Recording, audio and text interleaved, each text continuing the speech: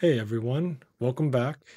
In this video, we will be continuing our project building Luigi's Pizzeria website.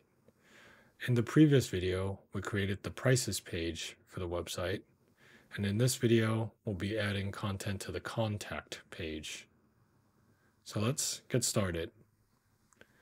In the contact.html file, let's add our boilerplate.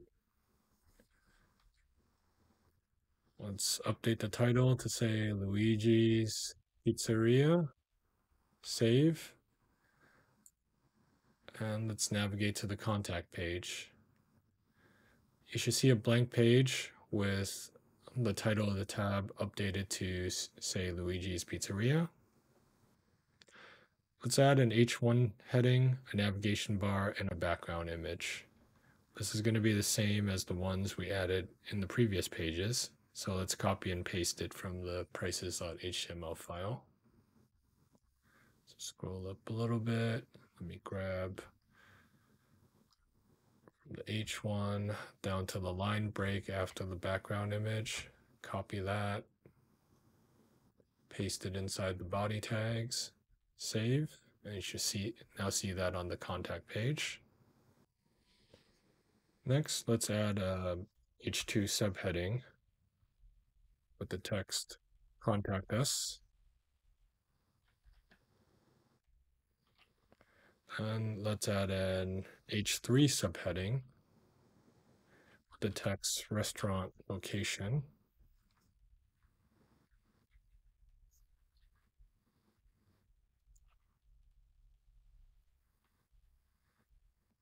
Then let me add a couple of paragraph tags with the address.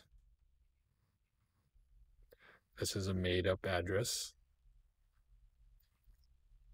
because I am really not sure if there is a 100 Main Street in Italy, but I'm going to assume there isn't one.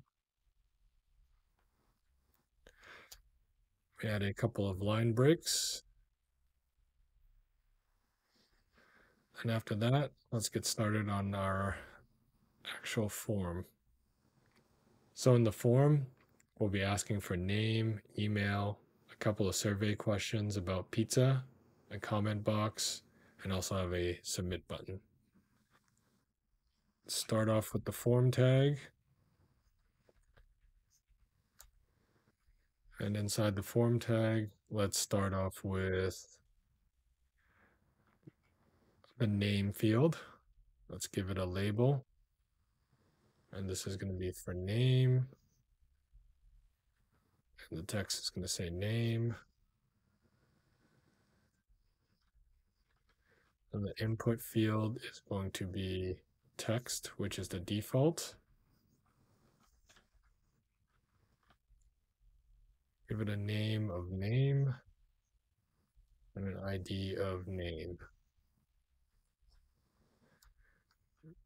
Let me add in a couple of line breaks so that it looks distinctly separate from the next field.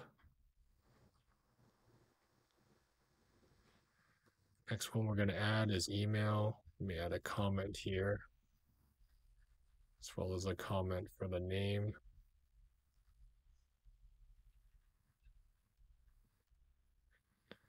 And the label for this is going to be email,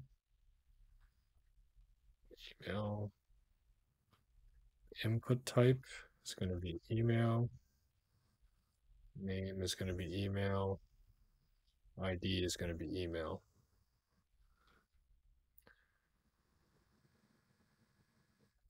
Next, let me add a survey question on how much um, how much the customer enjoys the pizza.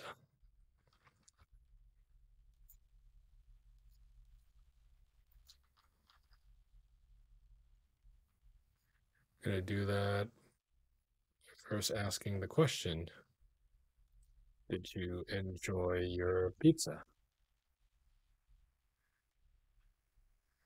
Then I'm going to use some radio buttons with options like yes, no, and NA.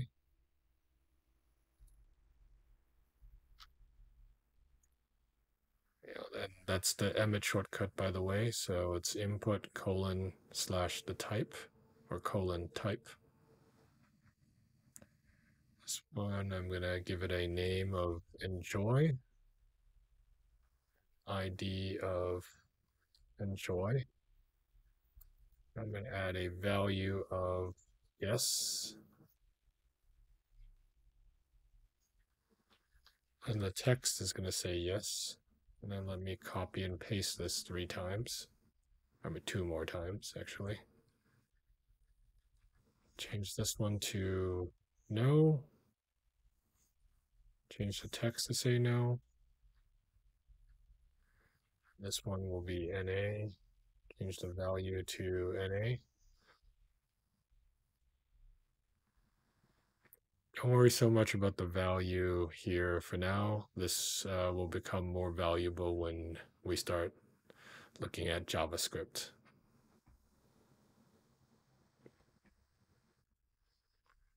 Next, let me add the survey question about what kinds of pizzas the customer has tried.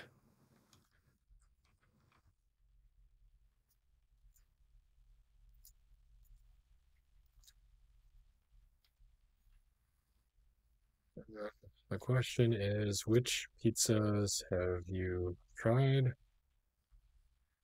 going to use checkboxes for this because the user might pick several different.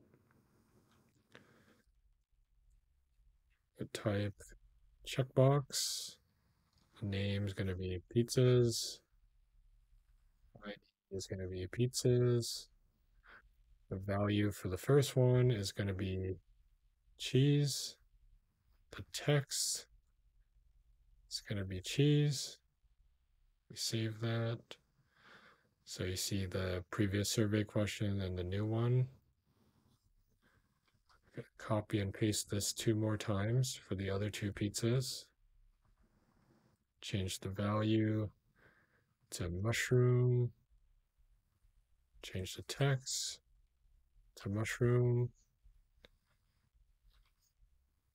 the last one to pepperoni. Change the value to pepperoni. Save.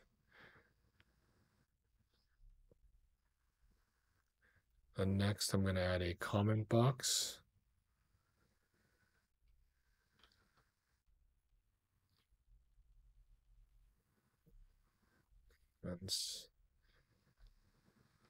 Let me add a couple of line breaks to give it some space from the previous um, survey question. looks a little bit better. For the comment box, I'm going to use a text area.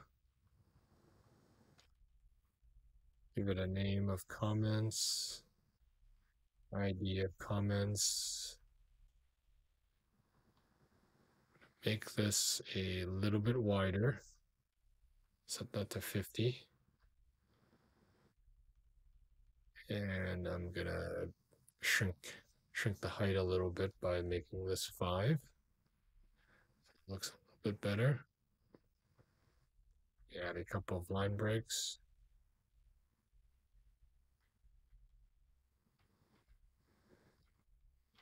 And let me finish the form with a submit button. And there's a couple ways to do this. The way I'm going to show is using the input. It's going to be input, and it's going to be of type submit. The value is going to be submit. When I save, I'm going to see the submit button here. And then to finish off the page, I'm going to add our footer after the form, which is again our copyright